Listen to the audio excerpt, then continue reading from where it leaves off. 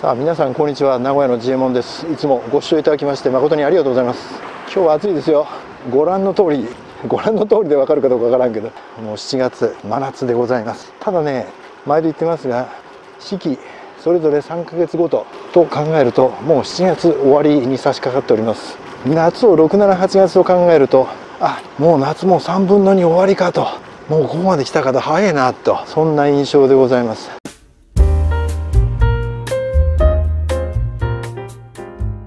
日々仕事をしてますとなかなかね時が過ぎない。特に仕事してる時なんてのはねなかなか時間が進まないもので時間が止まってんじゃねえかなとぐらいね時の進みの歩みの遅さに愕然とすることは多々ありですがまあ振り返ってみるとああもう金曜日ああもう1週間終わりかとまあ嬉しい週末がやってきたなんですけどね。でまた月曜日がやってきてでそれを52回繰り返して1年終わるということですね。でただ12ヶ月四季4つの季節で割ると1月1季節あたり3ヶ月。って考えるとあっという間ですね。1季節あたり3ヶ月よたったの。たったの3ヶ月。今日も取り締まっとんな。3ヶ月でございます。ということは冒頭に戻りますがもう7月の終わりということは678月を夏と考えるならもう3分の2がまさに終了せんとすという状況でございますね。あっという間ですよね本当に。だからまさに夏は夏の間ねいくら暑かろうがやっぱり堪能しとかないとあの夏がねふと過ぎ去ってしまう。ちょっとこう風が冷たくなってきて涼しくなってきてふと秋風が吹く頃に妙に寂しくなる。あ気が付いたら夏がどっか行ってた。あれどこ行ったんだ？みたいなねそんな思いかられますね。まあ割と私あの鑑賞に浸るのが好きなので結構そういう思いをいつも抱いてしまうんです。季節が変わっていく季節が終わっていくっていうのは妙に寂しいもんですね本当に。特に夏から秋になると一番寂しいよね。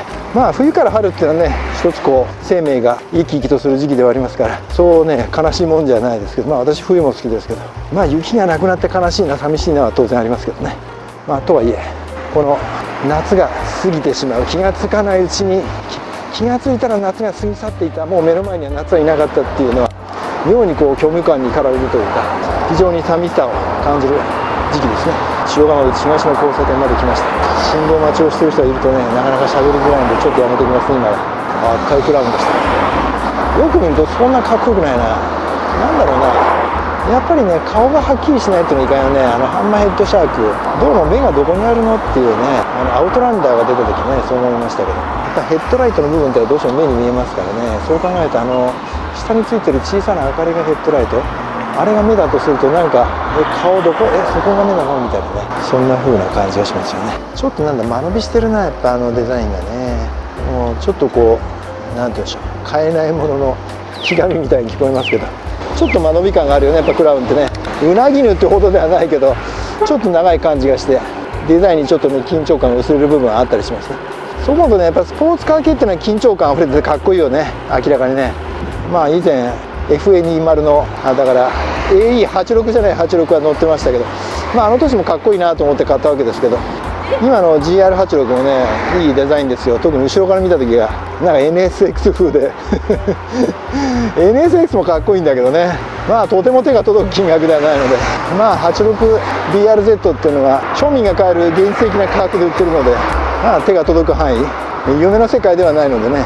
いや今でもねちょっと欲しいなと思うとこありますよ。やっぱ2ドアクーペっていいよね。ある意味の4ドアがないと困ります。絶対家族4人乗ら乗らないといけません。必須ですではないというのが醸し出せるっていうね。で少なくともそれ1台で過ごしてるとは思われないとこもあってなんとなくこう気分的にリッチになりますよね。そういうところはねクーペはいいなと。RC もしかり LC もしかりですけどね。クーペの良さ何でしょう。非日常的。で生活感生活臭がないっていうねいうところがね非常にクーペいいなと思います。で先般とあるところにあの GR86 ねどんな風かなって今のモデルどうなんだろうって座りに行きました。まあ走りは大体見当つくんでねまあちょっと試乗するの面倒くさかったからちょっと座らせてくださいっつって座らせてもらいましたけど、えー、横浜の広い私でもですねワイトシートバケット構造ですけど割としっくりきて、えー、特段当たるとこもなくあいいねと、うんあ、こんならいけるねっていう確認はしてきました。かといって別に今すぐ買うつもりはないですけど。回いかんせん背が低いのでねちょっと道路交通上埋没する可能性あるっていうのはあの背の低い車系はよく陥りがちな話ですけど。まあプリウスなんかもかっこいいなと思うけどね今プリウスって車入ってきましたけどあそこね。何だろうなやっぱり顔がはっきりしん車はあんまり好きじゃないんだな自分として。それはすごい感じますね。やっぱり目がねこうしっかりある。方がやっぱり自分好みなんだろうなと選んできた車を見てもそうですけどね。やっぱりこう目がねしっかりしてないとパッチリというかねある程度こう、えー、彫りが深くてっていうかしっかり目目がヘッドライトがきちんと目玉前としてる車の方が私はいいなととそんな感じ。だからプリウスも低くてかっこいいなと後ろから見るとね特にデザインいいなと思いますけどなかなか触手が伸びないっていうのはそういうとこあるかなと。乗り降りのしにくさは当然ありますよね背が低い車って。特に86は典型だと思いますが。意外とねまあ乗るその手順というか作法というか順番を間違えなければそんなに苦痛ではない。降りる時もむしろ結構そんなに割と楽に降りれる。運転席はね助手席はきついんだなある車ね捕まるとこないから。そうなんですよ。そう。だから運転席はそこまでひどくないですよ。そう。運転席はね別にあのハンドルあるからハンドル捕まって乗って降りる時はサイドシールに手をかけてよっこしょってやるとね割とすんなり降りれますんで。まあそこまで地獄の苦しみではないですね。ということで結構暑いな。この辺来るとやっぱ暑いな。やっぱりこう周りに木が多いか少ないか結構気温の差が現れますね。こう走ってると。この辺はね、まあ、以前もご紹介した準工業地帯。準工業地域なので木がないですから結構暑いです。まあ言うなればね何でしょう。まあ自分の健康寿命は何歳かって分かんないけどまあ少なくとも私の年齢いい掃除であるならば30年もないわけですね、えー、20年もあるかどうかって。って考えるとあっという間に時が過ぎ去っていく。あっという間に20年なんか経っちゃうしなんかちょっとしたことがあればもう健康寿命そこでおしまいっていう不健康寿命に突入みたいなそんな感じですね。なのでできる限りやれる時にやりたいことを絶対やっとくっていうのはやっぱり一番大事だなと。だからこのクソ暑い中も自転車乗るって正気の沙汰ではございません。はっきり言うと今パッと見ても誰も歩いてないし誰も自転車乗ってないし乗らんわね。でもね私も全然今暑いけどまあいいかっていう。まあ乗るのが趣味なので全然いけます。はいあの左手さら地になっとるな。よう乗っとるなと我ながら。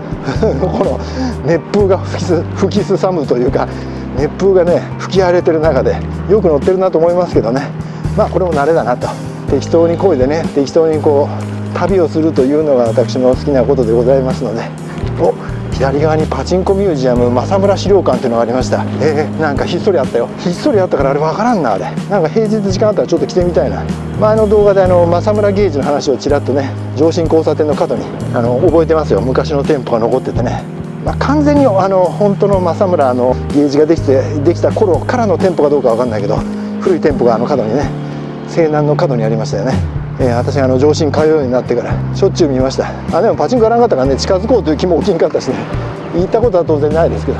さあ昭和高校の南側を走行中名古屋の J 門は相変わらず直射日光が当たる名古屋の元で走行しております。